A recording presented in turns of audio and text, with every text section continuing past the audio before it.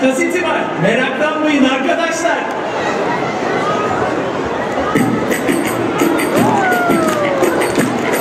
Evet oturuyoruz.